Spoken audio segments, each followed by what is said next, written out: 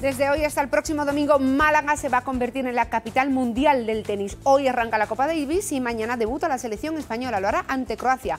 A España, una jornada la de hoy de mucha intensidad, mucho trabajo a primera hora de la mañana en la pista eh, que se ha levantado en el exterior de este pabellón Martín Carpena y poco después, en torno a las 12, eh, se venían los jugadores y el capitán Sergi Bruguera hasta el interior de este pabellón, a la pista central, para adaptarse a la rapidez de esta cancha, que quizás sea uno de los hándicaps en estas finales de la Davis para el conjunto español. Al término